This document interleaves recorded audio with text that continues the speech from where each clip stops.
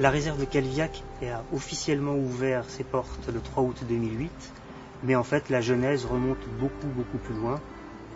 L'école primaire, un peu plus tard, mais véritablement c'est en 2005 que je me suis implanté euh, à Calviac, au lieu dit sous le roc. Et là j'ai commencé les démarches pour créer la réserve, démarches d'abord administratives et puis scientifiques, et ensuite il y a eu les travaux qui ont duré dix mois, de septembre 2007 à début août 2008. J'ai pas vraiment le souvenir d'une naissance d'une vocation, puisque depuis tout petit, j'ai toujours voulu faire ce que je fais actuellement.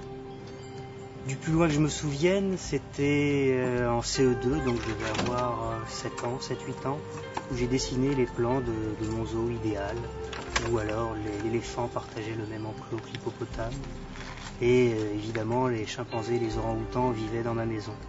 Évidemment de cette première ébauche qui était plus un rêve d'enfant, c'est davantage devenu quelque chose de plus scientifique, de plus réfléchi. Euh, donc à l'adolescence, j'ai appris que les parcs zoologiques euh, avaient aussi une mission, une raison d'être. Et ça, je l'ai appris euh, en grande partie suite à ma rencontre avec Jacques Bouillot. J'avais pas tout à fait 10 ans. Et cet homme, en fait, était la synthèse de tout ce, dont j'avais rêvé enfant. C'est-à-dire vivre pour un idéal, vivre au milieu de la nature et pour la nature et euh, tout se déclinait chez lui euh, dans sa vie, dans son œuvre. Et euh, tout au long de ma vie jusqu'à présent, c'est un peu ce, modèle que je poursuis. Après Jacques Bouillot, à l'adolescence, j'ai rencontré, alors d'une manière plus littéraire cette fois-ci, le naturaliste Gérald Durel, qui lui, à travers ses ouvrages, a montré à quel point un parc zoologique pouvait être utile pouvait avoir une, véritable raison d'être, et notamment par l'entremise de programmes d'élevage pour les espèces menacées.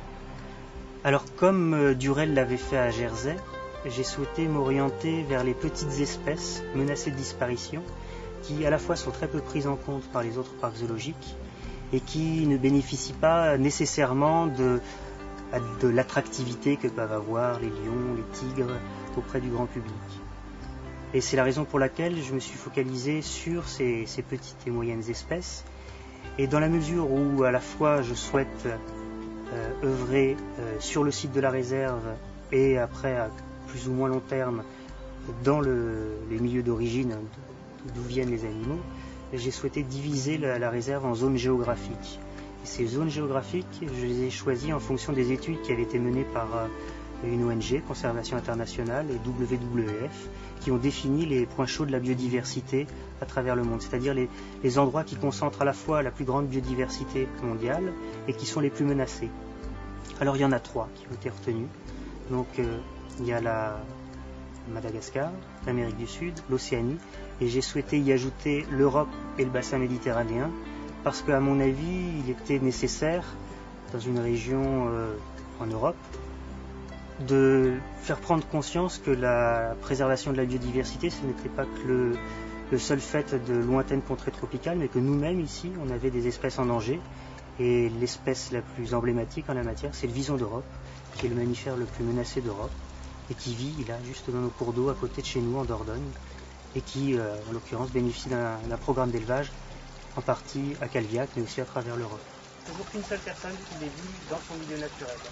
Parce que c'est euh, la, Encore aujourd'hui, elle était relativement active assez tôt, mais d'habitude, les visiteurs ne la voient que à 18h au moment du nourrissage. Sinon, elle est très très discrète. L'idée de départ, c'était de recréer au mieux les, les zones d'où sont originaires les animaux.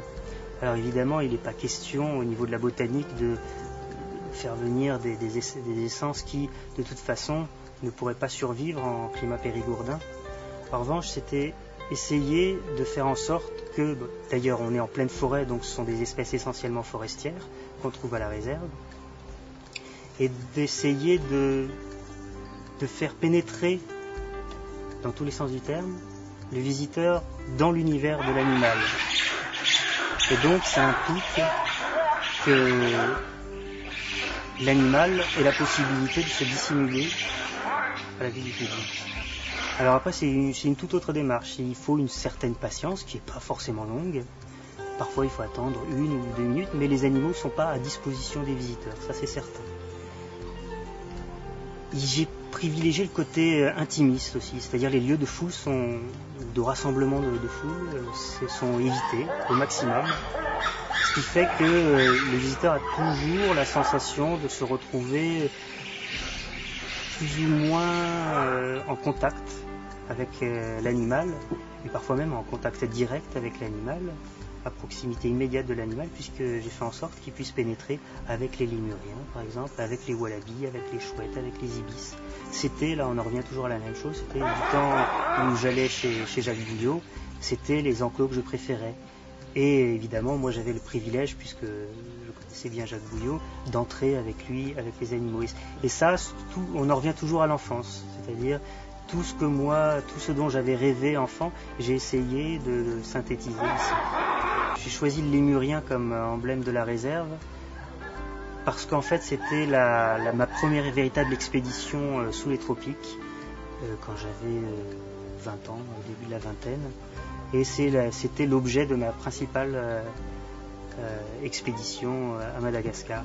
Donc c'est la raison pour laquelle à la fois c'est un animal menacé et bon après personnellement c'est un animal pour lequel j'ai j'ai un certain intérêt, un vif intérêt. Donc voilà, j'ai voulu faire la synthèse et l'utiliser comme euh, emblème de la réserve et de l'institut qui est la fondation.